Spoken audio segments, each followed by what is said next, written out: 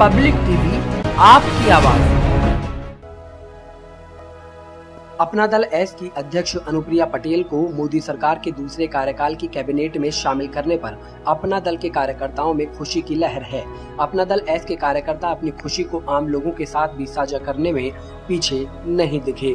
अपना दल एस मुरादाबाद के जिला अध्यक्ष पंडित विजय शर्मा के नेतृत्व में ढोल नगाड़ों की थाप पर जश्न मनाया गया और मिठाई बांटकर सभी को शुभकामनाएँ दी गई इस दौरान मुरादाबाद के कार्यकर्ताओं का कहना है कि अनुप्रिया पटेल को मोदी सरकार के कैबिनेट में शामिल होने पर सबसे ज़्यादा खुशी है और जो सम्मान प्रधानमंत्री नरेंद्र मोदी के द्वारा अपना दल एस की राष्ट्रीय अध्यक्ष अनुप्रिया पटेल को दिया गया है, उससे कार्यकर्ताओं में खुशी की लहर है और 2022 में अपना दल एस अपनी भागीदारी निभाएगा और उत्तर प्रदेश में फिर से भाजपा के साथ सरकार बनाएँगे।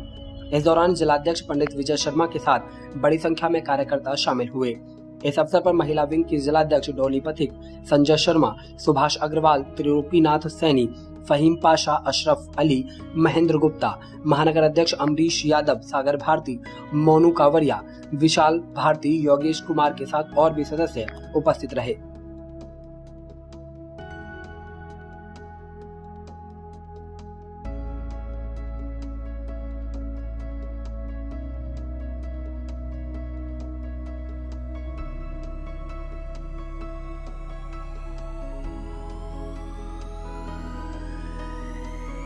मैं सर्वप्रथम अपनी बहन अनुप्रिया पटेल, किसान, वंचित कमेरा समाज की नेता अनुप्रिया पटेल जी को केंद्रीय मंत्री बनाए जाने पर बहुत बहुत बधाई एवं शुभकामना।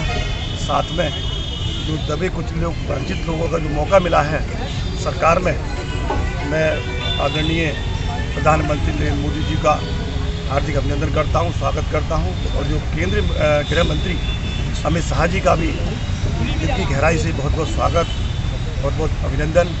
इन्होंने गरीब लोगों को जो मौका दिया अनुप्रिया पटेल ने को मंत्री बनाकर मैं बहुत बहुत आभार प्रकट करता हूँ। अच्छा इसका 2022 पर क्या आगामी दो हज़ार का ये बाईस का ही परिणाम है जिससे कि आज हमारी बहन को उन्हें हमारा मंत्री के मंत्रिमंडल जगह दी गई है। चुनाव दो हज़ार बाईस में दो प्रदेश होने वाले हैं उत्तराखंड और उत्तर प्रदेश। उसी के लिए ये गठन हुआ। पब्लिक टीवी आपकी आवाज़।